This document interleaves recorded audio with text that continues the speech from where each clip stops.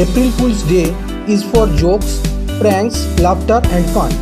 Here are the 5 new ideas that you may apply to your family members, office colleagues, or friends.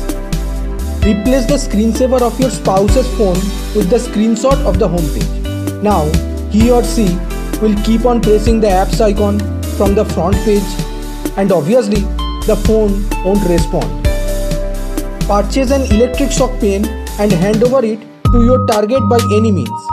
You may tell him or her to draw a sketch or to solve a simple math problem, and then when the person press the top lever of the pen, watch the fun. Borrow someone's vehicle and after some time call him and say that you had an accident where you have survived but the vehicle is damaged severely.